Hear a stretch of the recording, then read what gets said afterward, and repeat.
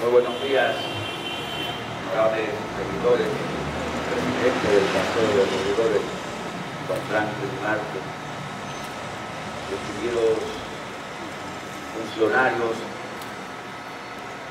de nuestro ayuntamiento, nuestro cuerpo de bomberos, nuestros empleados presentes esta mañana. Gracias, don José Vázquez, por sus elocuentes palabras de orientación sobre el pensamiento y la vida de Juan Pablo Duarte. Bueno, de Duarte comenzó a hablar hace 209 años, porque desde niño fue prodigioso y de joven, con la excelencia de su conocimiento, la profundidad de su pensamiento, se destacó entre todos los jóvenes de su época. Y es verdad, es el de la inspiración, el que soñó, el primero que soñó se atrevió a, apostarlo todo por la independencia nacional, fue Juan Pablo Duarte, crear una república.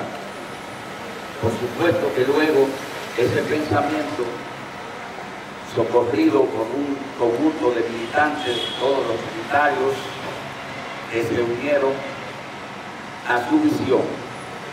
Pero de verdad que en algún momento de la historia se sabrá que el padre de la patria es Juan Pablo Duarte, es el creador de las ideas originarias que nos dio la República Dominicana con identidad e independencia. Pero ese no es el tema. El tema es hoy seguir hablando como se ha hablado de Juan Pablo Duarte en estos 209 años. Por más que hablemos de Duarte, nunca será suficiente. Así que podemos pasarnos nuestras vidas emulando su ejemplo y no habremos terminado, porque los honores para parte son tan infinitos como su obra, crearnos como república y hacernos independientes. Nos enseñó a ser justos. No todos los países del mundo tienen la suerte de haber tenido la visión de un Duarte. Y todos o casi todos los países del mundo tienen igual un forjador pero Duarte es excepcional y no lo digo con el fanatismo ni el dominismo de ser dominicano como él. Es que hemos estudiado muchos precursores de las identidades de las naciones del mundo. No todos tenían la profundidad de un pensamiento de Duarte. El desprendimiento absoluto por eso uno es tan orgulloso de ser dominicano, porque viene de esa estirpe, porque Él es el padre de la patria. Y cada uno de nosotros debemos entonces comportarnos como buenos hijos de esta patria. Honrarlo a Él es lo mismo que tener un padre honesto, el de nosotros, el carnal. Y seguir su ejemplo en nuestras casas, en nuestras vidas. Ahora que podemos ver nuestros padres en nuestras casas y seguir su ejemplo, el esfuerzo que hicieron para vernos crecer,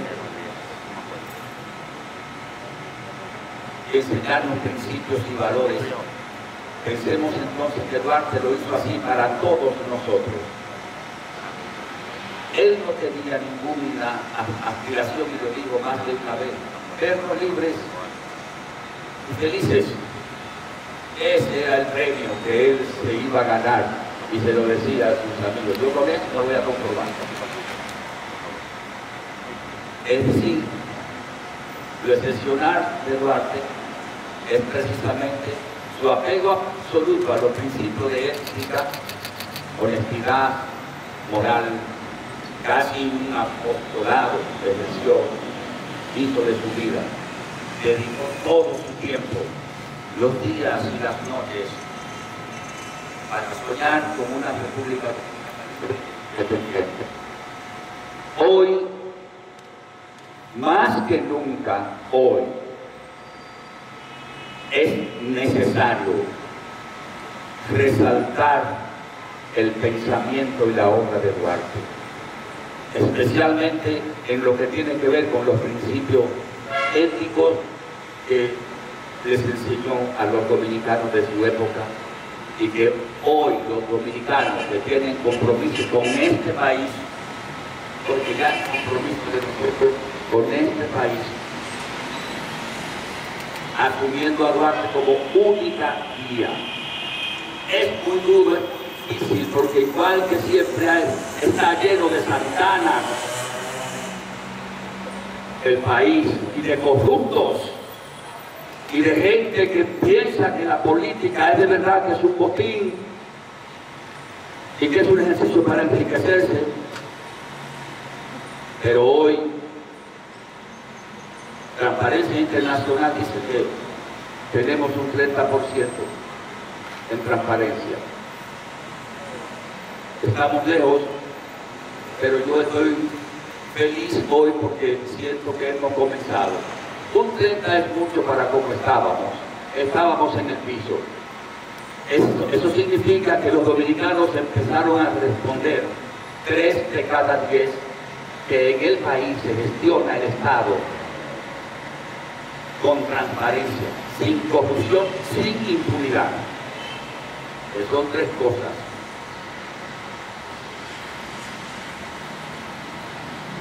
Nos toca a todos viendo esos números. La meta de nosotros tiene que ser alcanzar a Duarte, alcanzarlo en su estatura moral y ética. Para eso no hay que hacer nada que no sea actuar con absoluta transparencia, sirviéndole a este país que es tal vez lo único que nos vamos a llevar cuando nos vayamos a haberle servido todos los demás quedan. La única manera de que nuestros hijos y nuestros nietos mencionen nuestro nombre con la frente en alto es haberlo hecho bien. No hay otra cosa. Ni siquiera otro sentido para mí que no sea servirle a su pueblo. Entonces, aquí en Santo Domingo Este, desde que llegamos a la alcaldía, comenzamos pidiéndoles honores a Duarte, y a los símbolos patria, patrios desde las 8 de la mañana. Y no descansaremos hasta que no sea una persona de este ayuntamiento no sepa cantar y el himno nacional dominicano. Hemos tratado de dar el ejemplo de que a la patria se le honra y se le sirve, no se le usa y hoy es un día glorioso para que este mensaje llegue al corazón de cada uno y una de ustedes. En este ayuntamiento tenemos un desafío muy serio, crear un precedente en la gestión municipal. Por supuesto que no lo ha sido fácil y lo será. Una tarea titánica, necesita de la unidad de todos nosotros de una visión compartida, de un compromiso unificado. Me levanto temprano todos los días a lograr este objetivo. Y créanme, se lo digo como Duarte, me lo pueden creer, no tengo aquí ninguna aspiración que no sea ver a mi ciudad bien gobernada y ver a los niños felices en los parques. Sé el desafío que tenemos y todos saben lo que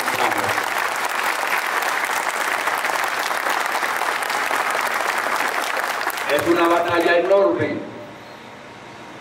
Es una ruta que la llevamos en medio de la más terrible tormenta.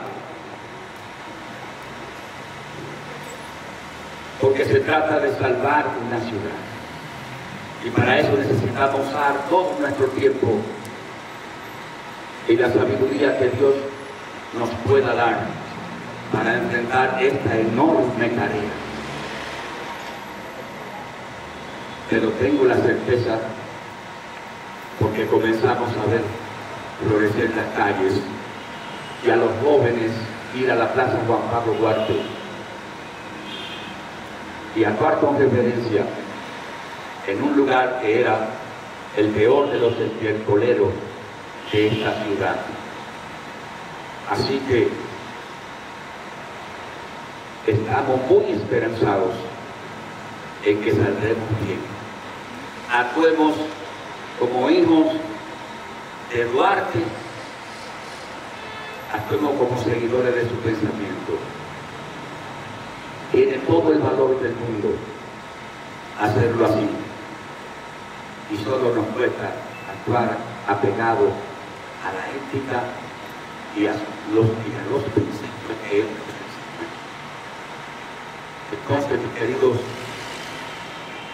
colegas, compañeros, amigos, hermanos, estos días para nosotros son muy grandes, muy valiosos. Y asegurémonos que cada día sea como el de hoy. Tener a Duarte en nuestra boca cada vez que veamos un malvado atentando contra la salud de la paz. Dios nos bendiga.